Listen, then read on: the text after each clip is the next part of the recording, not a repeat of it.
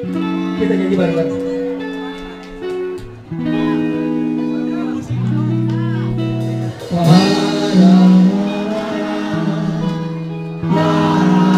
Keren banget ini salah satu negeri Pacet.